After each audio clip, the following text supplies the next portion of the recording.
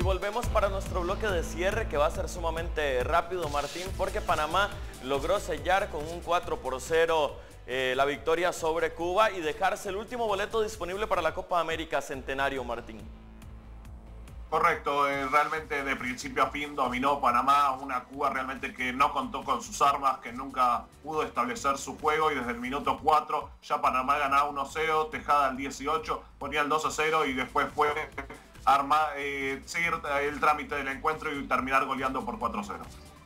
Definitivamente para eh, Panamá es una buena noticia y para la región centroamericana, tomando en cuenta que pues algunas otras selecciones como la misma Honduras ha quedado fuera de esta Copa América Centenario cuando observamos algunas imágenes del compromiso como Gabriel Gómez abría la cuenta sellando con un cabezazo en el segundo palo y prácticamente con todas las eh, posibilidades y las facilidades defensivas de una selección como esta eh, cubana. Que Honduras no esté evidentemente es eh, lamentable para la región de Centroamérica, Martín, pero sin duda alguna sabemos que puede haber buena representación y que Panamá y Costa Rica en este caso llevan la bandera o en este caso tienen la responsabilidad de llevar la bandera por un buen resultado en esta Copa América Centenario.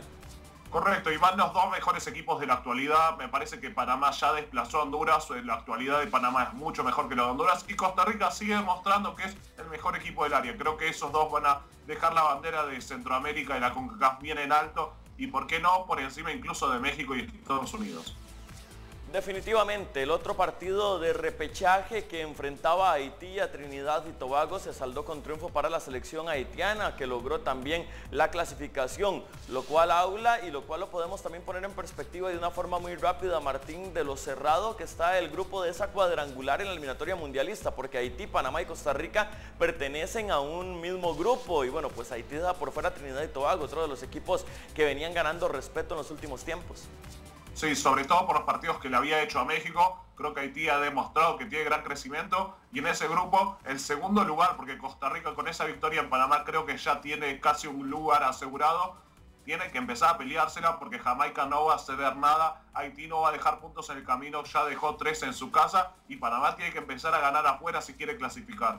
Nos estamos retirando, Martín, para la próxima semana queda planteado un tema y es el hecho de la jornada de marzo en las eliminatorias mundialistas en donde Costa Rica se las verá contra Jamaica, Panamá contra Haití a doble programación. Veremos qué ocurre con Guatemala, con El Salvador y por supuesto con la selección hondureña que se mantienen con vida en esta eliminatoria mundialista. Gracias, Martín. Gracias a ustedes y espero que la próxima semana empecemos a ya tener un, cronograma más óptimo de lo que va a ser el hexagonal final. Así es, eh, Martín. Vamos a retirarnos, nos gana el tiempo. Desearle muchos éxitos, bendiciones y agradecerle la compañía en el Deportivo, esto en CB24. Lo invitamos para que continúe con la programación regular.